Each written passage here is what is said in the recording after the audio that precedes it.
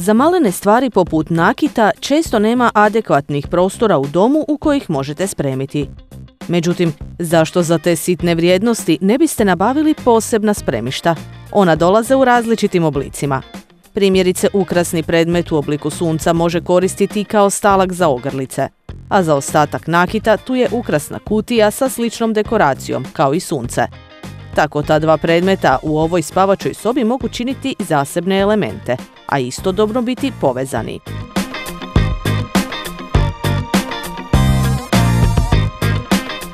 Kao mjesto za pospremanje nakita dobro će doći i kutija s posebnim pretincima. Ova ima pretince za prstenje, a isto tako i veći pretinac za ostatak nakita. Ako vam to nije dovoljno, pronašli smo dodatne držače nakita koji nas pomalo vraćaju u djetinstvo. Posebno stilizirana lutka ili cipela s visokom potpeticom probudit će djevojčicu i u odrasloj ženi.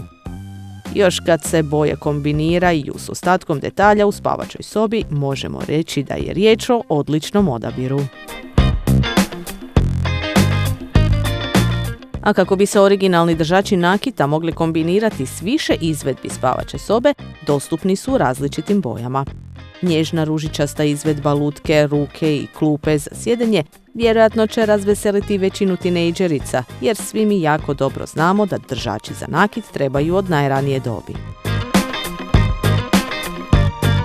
Iste lutke postoje i u bijelo-plavoj verziji cvjetnog uzorka te u bljedo-zelenoj izvedbi.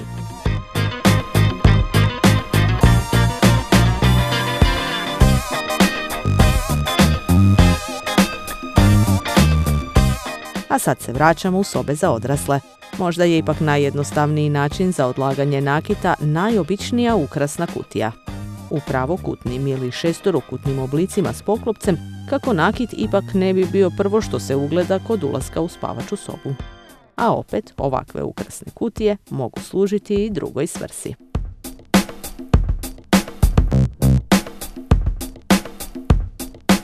Lesnina, kreirajmo dom zajedno.